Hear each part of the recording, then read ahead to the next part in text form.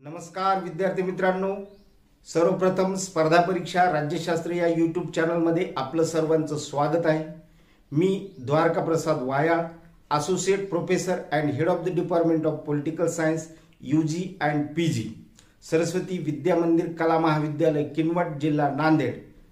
आज आपण आपल्या बी ए तृतीय वर्षामधील राज्यशास्त्र या पेपर अंतर्गत सेमिस्टर नंबर पाच अंतर्गत जो पेपर आपला राज्यशास्त्राचा आहे त्या पेपरच्या संदर्भात माहिती पाहणार आहोत.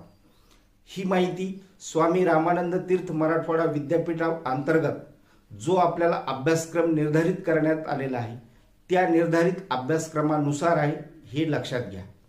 आपण बी ए तृतीय वर्षामध्ये आलेलो आहात त्याबद्दल आपलं सर्वांचं स्वागत आहे. इथपर्यंत येण्यासाठी तुम्ही वेगवेगळ्या संकटांना वेगवेगळ्या समस्यांना आतापर्यंत तोंड दिलेलं आहे. या सर्व समस्या आणि संकटावर असंच आपण तोंड देत पुढे जाणार आहोत हेही या ठिकाणी आपण लक्षात घ्यावं कारण मागील काही दिवसापासून आपल्यावर जे काही नैसर्गिक संकट येत आहे त्या संकटाला आपल्याला सामोरं जायचंच आहे.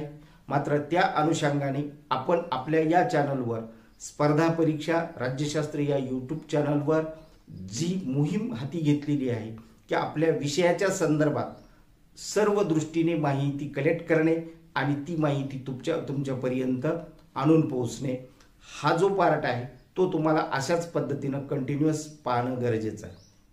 आपण जाणताच आहात की आपल्याला वेगवेगळ्या स्पर्धा परीक्षांना सामोरं जायचं आहे. त्यासाठी हा जो काही अभ्यासक्रम निर्धारित करण्यात आलेला आहे तो निर्धारित अभ्यासक्रम कुठे ना कुठे स्पर्धा परीक्षेसाठी उपयोगीत पडत असतो. त्या स्पर्धा परीक्षेला सामोरं जाण्यासाठी जो अभ्यास नंतर आपल्याला करायचा असतो तो आत्ताच आपण करून ठेवू शकतो. कारण की अशा विचारवंतावर वेगवेगळ्या पद्धतीचे प्रश्न आपल्याला विचारले जात असतात. आजचा जो काही भाग आहे तो त्याच दृष्टीने आपण तयार केलेला आहे.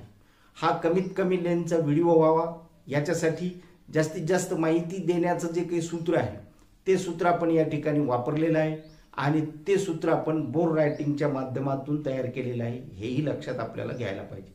आपली ही बोर्ड रायटिंगची पद्धत तुमच्यासाठी अतिशय युनिक अशा स्वरूपाची आहे.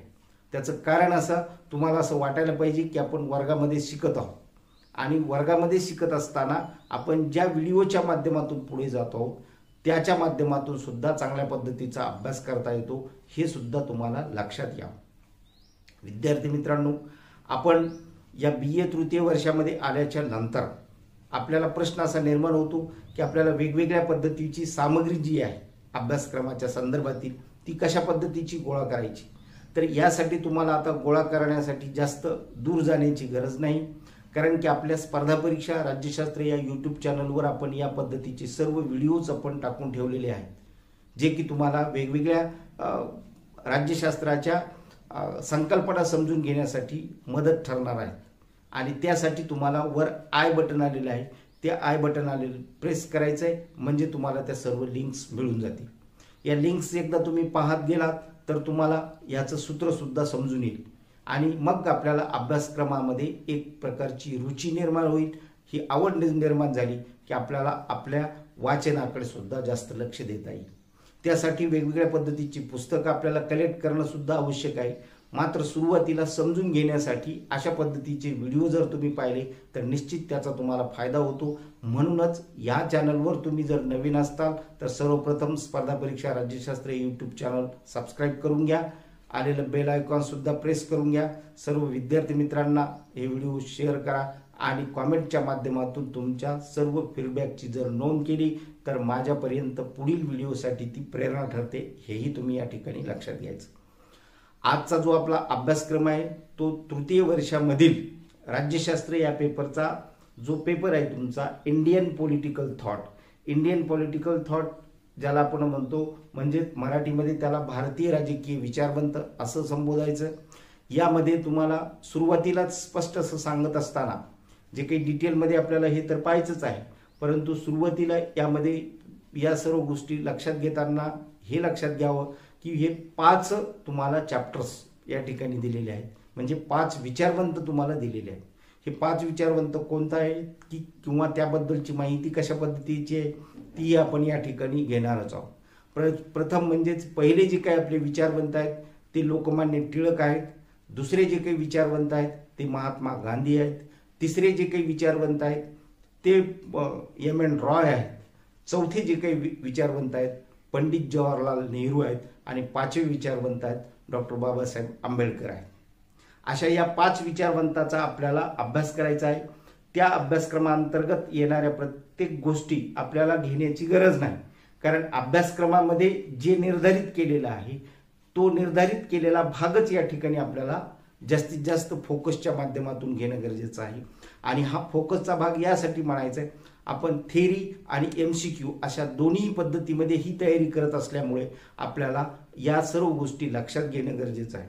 कारण की तुम्ही विद्यापीठाची परीक्षा ज्या पद्धतीनं सध्या सामोरे जात आहात ती परीक्षा लक्षात घेता. एम सी क्यूवर तुम्हाला जास्तीत जास्त भर देणं गरजेचं आहे.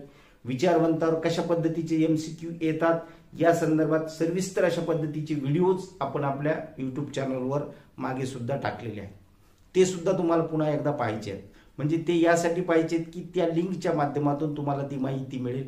वर जे आय बटन येते ते आय बटन त्यासाठीच तुम्हाला प्रेस करायचं आहे म्हणजे ते लिंकचे व्हिडिओ तुम्हाला निघून जातात. किंवा ते व्हिडिओ तुम्हाला पाहण्यासाठी उपलब्ध होतात. हे या ठिकाणी आपण लक्षात घ्या.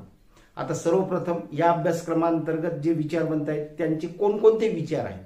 किंवा कोणकोणत्या विचारावर अभ्यासक्रमामध्ये भर दिलेला आहे? विद्यापीठाचं जे काही अभ्यासक्रमाचं डिझाईन आहे अतिशय तुम्हाला उपयुक्त अशा स्वरूपाचं आहे. उपयुक्त डिझाईन यासाठी बनायलो कारण स्पर्धा परीक्षेसाठी या सर्व गोष्टी तुम्हाला उपलब्ध होणार आहेत किंवा ती माहिती तुम्हाला मिळणार आहे. सर्वप्रथम तुम्हाला लोकमान्य टिळकांच्या संदर्भात माहिती पाहत असताना त्यांचा जो काही पहिला विचार व्ह्यूज ऑन सोशल रिफॉर्म म्हणजे सामाजिक सुधारणेच्या संदर्भात कोणता दृष्टिकोन आहे त्याबद्दलची माहिती घ्यायची. त्याचबरोबर त्यांच्या चतुसूत्रीच्या संदर्भात माहिती घ्यायची. आणि लोकमान्य टिळकांचा जो राष्ट्रवाद आहे त्या राष्ट्रवादाच्या संदर्भात तुम्हाला माहितीचा अभ्यास करायचा आहे. हा झाला पहिला घटक. दुसरा जो काही घटक आहे तो महात्मा गांधींच्या संदर्भात आहे. महात्मा गांधींचा जो काही दृष्टिकोन आहे सत्य आणि अहिंसेचा जो काही दृष्टिकोन आहे त्या सत्य आणि अहिंसेच्या दृष्टिकोनाच्या संदर्भात माहिती लक्षात घ्यायची. त्यानंतर सत्याग्रहाच्या संदर्भात आपल्याला माहिती घ्यायची आहे. आणि थॉट्स ऑन स्टेट म्हणजे राज्याबद्दलचे जे काही गांधीजीचा जो काही दृष्टिकोन होता किंवा विचार होते ते सुद्धा आपल्याला या ठिकाणी पाहायचे.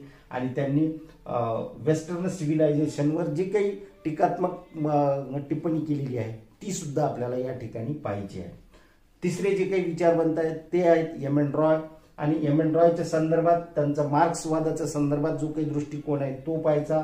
त्यांचा जो काही गांधीच्या संदर्भात म्हणजे जो काही दृष्टिकोन आहे तो आपल्याला लक्षात घ्यायचा.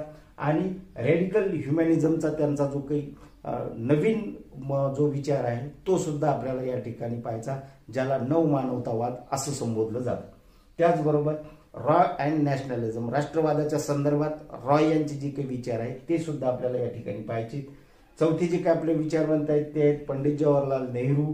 त्यांचा जो काही thoughts on national nationalism and democracy and socialism म्हणजे राष्ट्रवाद लोकशाही आणि समाजवादाच्या संदर्भात त्यांचे जे काही विचार आहेत ते आपल्याला लक्षात घ्यायचे. त्याचबरोबर त्यांची जी काही धर्मनिरपेक्षतेची संकल्पना आहे ती संकल्पना सुद्धा आपल्याला पाहायची. आणि आंतरराष्ट्रीय च्या संदर्भात त्यांचे जे काही विचार आहेत ते सुद्धा आपल्याला या ठिकाणी लक्षात घ्यायचे. म्हणजे या चार विचारवंतांतर्गत या सर्व बाबी तर पाहिजे त्याचबरोबर पाचवे जे काही विचारवंत आहेत डॉक्टर बाबासाहेब आंबेडकर त्यांच्या संदर्भात राष्ट्र आणि राष्ट्रवाद या संदर्भात जे काही त्यांचे विचार आहेत तेच आपल्याला फक्त पाहिजे thoughts on the social democracy म्हणजेच सामाजिक जी काही लोकशाही आहे त्या लोकशाहीच्या संदर्भात आपल्याला विचार पाहिजे आणि त्या बरोबर आपल्याला जो काही स्टेट सोशलिझमचा त्यांचा मुख्य विचार आहे तो सुद्धा लक्षात घ्यायचा. आणि त्यांनी कास्ट सिस्टीमवर जे काही टीकात्मक परीक्षण केलेलं आहे ते सुद्धा आपल्याला या ठिकाणी पाहणं गरजेचं आहे. म्हणजेच या ठिकाणी पाच विचारवंत आहेत आपल्याला. त्या पाच विचारवंतामधील मुख्य जी काही माहिती आहे म्हणजे भारतीय राजकीय विचारवंतामध्ये जे महत्त्वाचे जे काही विचारवंत आहेत ते फक्त या ठिकाणी पाच विचारवंत दिलेले आहेत. या ठिकाणी आपण विचारवंताचा जो काही कालखंड दिलेला आहे तो सुद्धा आपण या ठिकाणी लक्षात घ्यायचा. म्हणजेच आपल्याला या भारतीय राजकीय विचारवंता अंतर्गत येणाऱ्या सर्व बाबींचा विचार अशा पद्धतीनं करणं गरजेचं आहे. सुरुवातीला तुम्हाला म्हटल्याप्रमाणे जे काही समग्र विचारवंताच्या संदर्भात माहिती आहे ती माहिती आपल्याला पूर्ण पाहायची गरज नाही कारण त्या अंतर्गत येणाऱ्या आपल्या ज्या काही म- अभ्यासक्रमाच्या डिझाईनमध्ये ज्या ज्या गोष्टी दिलेल्या आहेत तेवढ्याच आपल्याला लक्षात घ्यायच्या. त्यावर तुम्हाला प्रश्न येणार आहेत. हे प्रश्न येत असताना तुम्हाला एक गोष्ट दुसरी अशीही लक्षात घ्यायची की आपण ज्यावेळेस विचारवंताचा अभ्यास करत असतो त्यावेळेला त्या वेळेसची जी काही सामाजिक परिस्थिती असते त्या सामाजिक परिस्थितीचा सुद्धा आपल्याला विचार करायचा असतो आणि तो अभ्यास आपल्या या विचारवंताच्या माध्यमातून होत असतो. आता या ठिकाणी हा जो काही अभ्यासक्रम आहे हा अभ्यासक्रम शिकत असताना आपल्याला पुढील काही गोष्टीच्या संदर्भात सुद्धा लक्ष देणं गरजेचं आहे. कारण या प्रत्येक विचारवंतावर एक एक किंवा दोन दोन प्रश्न तुम्हाला कुठल्याही कॉम्पिटेटिव्ह एक्झाममध्ये येतात. त्यामुळे या विचारवंताला जास्तीत जास्त अभ्यासाच्या माध्यमातून आपण पुढे नेणं गरजेचं आहे. या संदर्भात प्रत्येक विचारवंतावर आपण वेगवेगळ्या पद्धतीचे व्हिडिओ ऑलरेडी टाकलेले आहेत. फक्त पंडित जवाहरलाल नेहरू या विचारवंतावर आपण काही व्हिडिओज आता येणाऱ्या कालखंडात तुम्हाला जास्तीत जास्त येतील. कारण त्या म- मागच्या अभ्यासक्रमामध्ये हा भाग समाविष्ट नव्हता. मात्र या वर्षीच्या अभ्यासक्रमामध्ये या हा भाग अतिरिक्त समाविष्ट करण्यात आल्यामुळे आपल्याला त्यावर सुद्धा भर देणं गरजेचं आहे. म्हणजे अभ्यासक्रमाची उजळणी किंवा अभ्यासक्रमाचा पार्ट लक्षात घेत असताना अभ्यासक्रमाच्या बाबतची माहिती पाहत असताना या सर्व गोष्टी आपल्याला सुरुवातीलाच लक्षात घेणं गरजेचं आहे. जर समजा अशा पद्धतीची सिस्टम आपण विकसित केली तर आपल्याला भविष्यामध्ये सुद्धा चांगल्या चांगल्या गोष्टीला सामोरं जाता येतं आणि त्या सामोरे जाणाऱ्या गोष्टीच्या माध्यमातून यशसुद्धा आपल्याला संपादित करता येतं. विद्यापीठाची परीक्षा ही तरी एक निमित्त मात्र असते. मात्र विद्यापीठाची परीक्षा जाऊ होऊन ज्यावेळेस आपण पदवीधारक होतो त्यावेळेला खरी जबाबदारी आपल्या जीवनामध्ये येत असते. ती जीव जबाबदारी आपल्याला चांगल्या पद्धतीनं पार पाडता आली पाहिजे. यासाठी आपण हा प्रयत्न करत आहोत. म्हणजेच राज्यशास्त्र हा विषय तुम्हाला समजून सांगण्यासाठी ज्या ज्या गोष्टी आवश्यक आहेत त्या गोष्टी तुम्हाला देण्याचा प्रयत्न आपण आपल्या या स्पर्धा परीक्षा राज्यशास्त्र यूट्यूब चॅनलच्या माध्यमातून करत असतो. म्हणून तुम्हाला हे चॅनल सबस्क्राईब करून घ्यायचं आहे आता मात्र हे लाईकचं बटन तुम्हाला प्रेस करायचं आहे. मात्र एंड ऑफ द स्क्रीनमध्ये जे काही व्हिडिओ येणार आहेत ते सुद्धा तुम्हाला क्लिक करून पाहायचे आहेत. कारण तुम्हाला त्यामधून वेगवेगळ्या पद्धतीच्या लिंक्स मिळणार आहेत. हा अभ्यासक्रम पहिल्या म्हणजेच पाचव्या सेमिस्टरसाठी आहे हे लक्षात घ्या. आणि नंतरचा जो काही अभ्यासक्रम असेल तो आपण दुसऱ्या सेमिस्टरच्या सुरुवातीला तो सुद्धा आपण देण्याचा प्रयत्न करू. म्हणून अभ्यास करत असताना त्याचं वर्गीकरण सुद्धा तुम्हाला अशा पद्धतीचं करता आलं पाहिजे. आजच्या या व्हिडिओसाठी एवढा जो काही संदेश आहे तो पुरे आहे. धन्यवाद.